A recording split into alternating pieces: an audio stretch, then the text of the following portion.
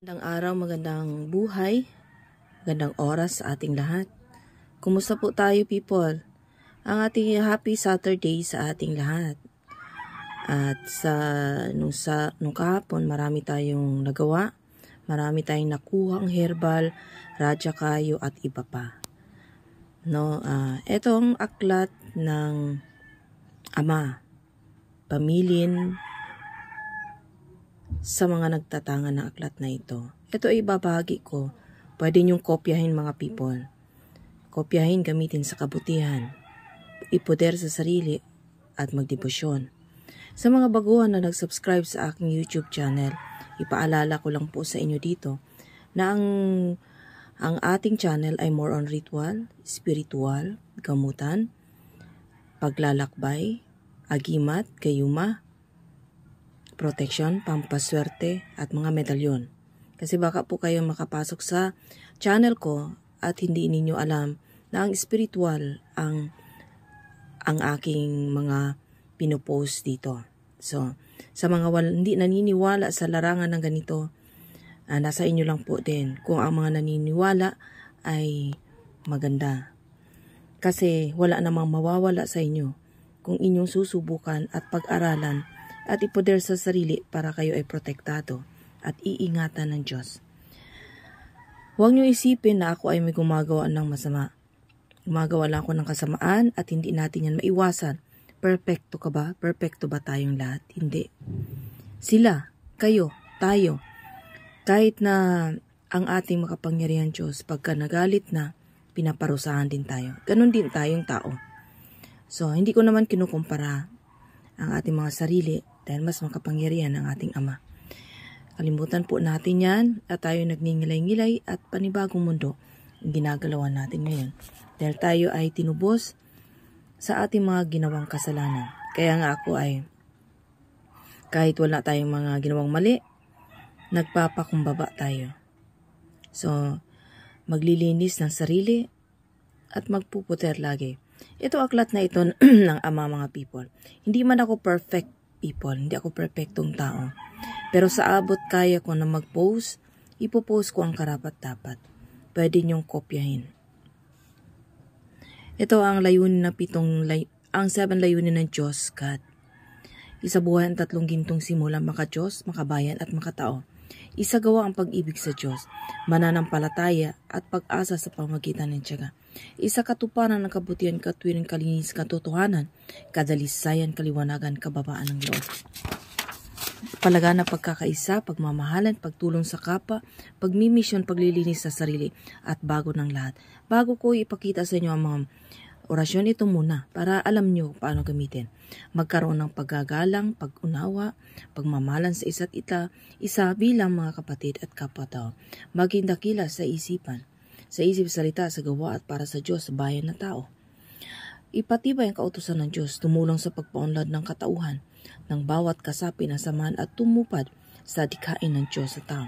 Sa mapagitan ng pagsunod ng paglayuning ito ay isang paghanap, pagha, naghanap naghahanap sa Diyos ay nag, nakasumpong sa Kanya at hindi nagpagkakaitan ng Kanyang liwanag. No? Yan, maganda yan, no?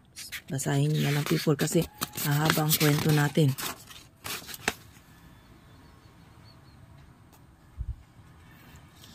Ayan, sabi nito, upang manatili ang ating mga sinulat, ating mga ninuno upang hindi ito mapaon sa limot.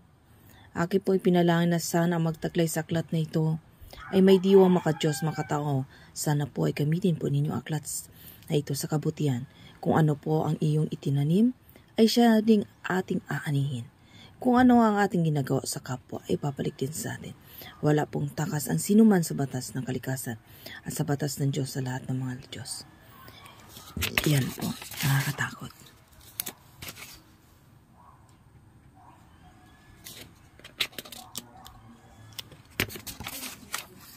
Aba. Yan. Dito na tayo sa Aba. Ang Aba ay Ama.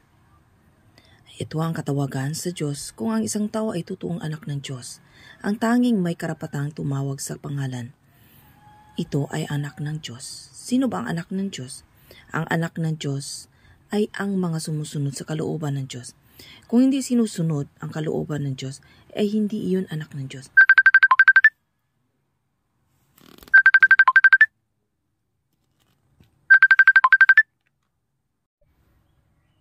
Ito na ang sunod kasi naputol ang ating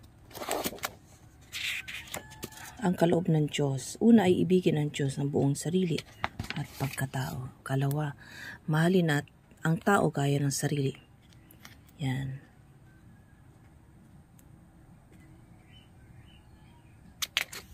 Magandang kwento to. Pag-ibig ganap na hindi ganap, lahat ay pinabago. Minsan tayo mga tao ayaw natin makinig ng mga kwento. Gusto natin agad na diretso. Manalangin na ang ng ama namin ng pitong beses. Ito ay mahalagang gampanan bago matulog at pagkagising. Ito yung lagi kong ginagawa. Kaya kung mainam, nagdaan mo ang mga aral na amor, amor del mundo, tumo bago ka magsanay na ang aklat ng aba. Ngunit ganap na ang pag-ibig mo sa Diyos kapwa ay mainam. Nasimulan mo na ang pag-aral ng aklat na ito. Ako lagi ang nananalangin sa gabi, pitong ama namin. Gawin ito 7 na araw bago ka magpatuloy sa pag-aral ng misteryo ng Aba. No? Pangalan ng Diyos. Isulat. Isulat ito sa bilog na papel. Aba. Yan, yan. Ibabad ito sa kalahating basong tubig.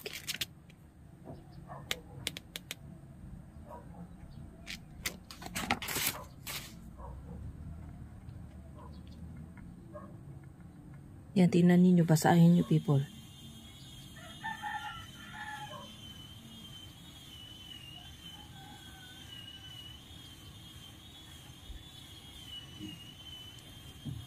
Yan, ang panalangin sa Alpha at Omega. Kinayan yan, sabi dito, magdasal ng pitong ama namin at hipan ng pitong beses ang tubig at ipagbabara ng bilog na papel. Takpan ang baso, gawin ito bago matulog. Kinabukasan magdasal ng pitong ama namin, hipan sa tubig at inumin ng tubig kasama ang papel. Gawin ang pamaraan ito sa loob ng pitong araw ito ay upang ang Espiritu ng Diyos ay kumasi sa iyo kung ikaw ay karapat-dapat. Panalangin na Alpha Omega, yan ang panalangin bago magising at patulog. Ito ang mga O oh, Grand Poderoso Alpha at Omega. Screenshot nyo na lang mga people. Screenshot nyo ang mga to. Puro Alpha Omega. Ito ay hindi na natin basahin ha kasi pag binasa ko pa to, matatagalan tayo lalo. Screenshot nyo people sa mga gusto na magkuha ng mga orasyon. Salvator al Salvame.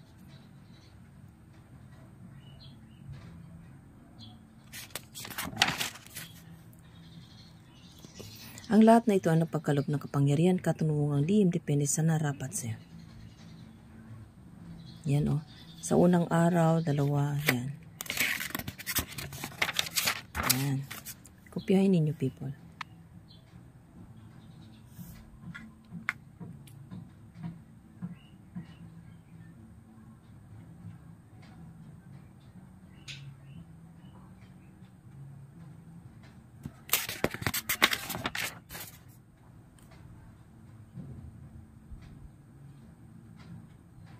Yan, kopya nyo. Puro 12-12 na araw. Madali lang yan. 12 days lang eh.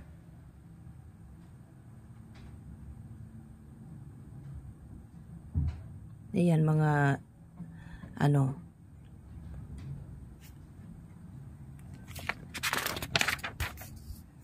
Hindi ko na basahin people. Kayo na ang magsulat. Screenshot nyo na.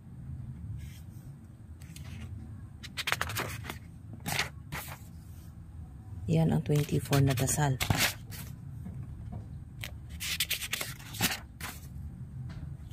Screenshot nyo.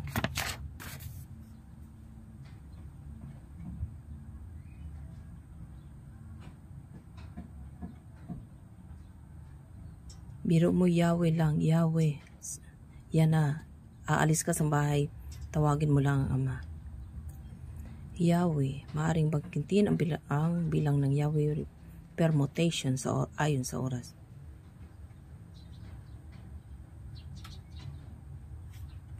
Ito naman ay gagawin ninyo sa sarili inyo yan ha. Yan yung mga instruction na kasulat people.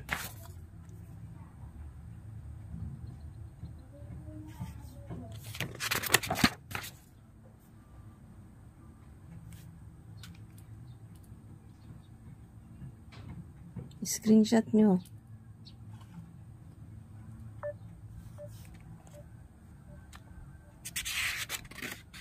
Ito naman ang espadang spiritual.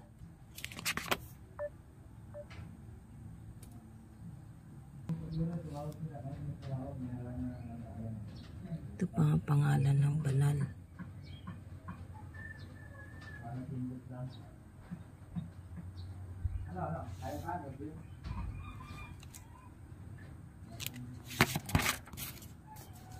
Pangalan. Ito pala, no?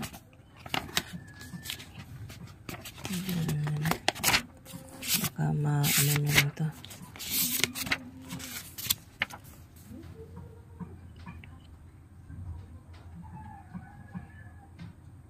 Yan. Yan people ang mga nangyayari. Mga orasyon ng Ama. Yan, ito, mga poder na.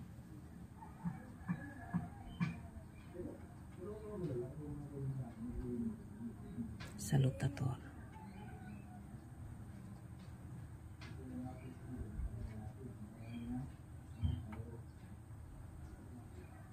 Ito, pagdebosyon. Kopyahin nyo gusto nyo magdebosyon.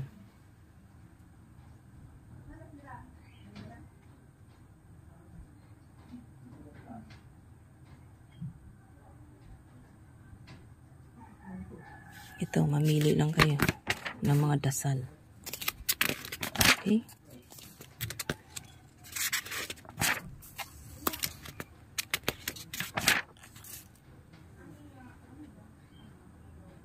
Okay people, hanggang dito lang muna tayo people sobrang dami. Tsaka tingin ko hindi naman niya siguro kailangan to.